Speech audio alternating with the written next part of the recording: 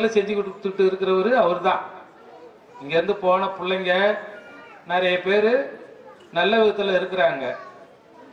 அந்த நல்ல விதத்தில் இருக்கிறதுக்கு காரணம் என்னென்னா ராமகிருஷ்ணர் தான்.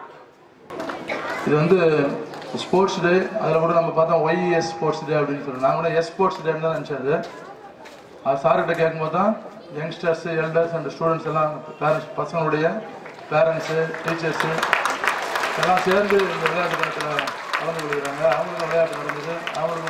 அவங்களுக்கும் சொல்லிட்டு. அது ஒரு புதுமையான முயற்சி. எப்பவுமே நான் ஒரு ஸ்போர்ட்ஸ்மேன்ன்ற அடிப்படையில் நான் எப்பவுமே விளையாட்டை பற்றி சொல்லும்போது முதல்ல ஒன்று சொல்லுவேன் என்றைக்கா ஒரு நாள் உனக்கு சோறு போடுன்னு சொல்லுவேன்.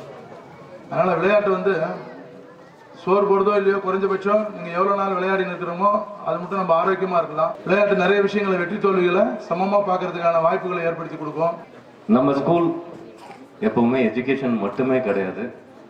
எல்லா விஷயங்களிலும் நம்ம மாணவர்களுக்கு கற்பித்து அவர்களுடைய முன்னேற்றத்துக்கான வழிகளை பள்ளி பள்ளியிலே அவர்கள் பயிலும் மாணவ பருவத்திலே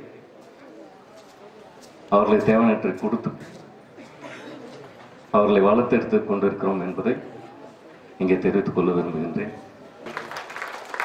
நிறைய ஃபங்க்ஷன் மூலமாக மாணவர்களுக்கு எந்த சமூக மாற்றத்திற்கான விதைகளை விதைக்கிறோம் அப்படின்னு பார்க்க போனீங்கன்னா எஸ்ஆர்கே பள்ளி அதை தொடர்ந்து திறம்பட செய்து கொண்டிருக்கிறது. உடல் நலம் மிக்கான இந்தியா ஆரோக்கியமான இந்தியா வளர்ந்த இந்தியா வளர்ச்சி அடைந்த இந்தியா இதை உருவாக்குறதுக்காகவும் நம்ம முன்னாள் ஜனாதிபதியும் டாக்டர் அப்துல் கலாம் அவரும் கனவு கண்டபடி நம்ம இந்த இந்தியாவை பாரத நாட்டை அதனுடைய கொடியை இந்த உலகத்தில் உயர்ந்த பறக்க விடுவோம் என சொல்லி நான் வேண்டுகொண்டு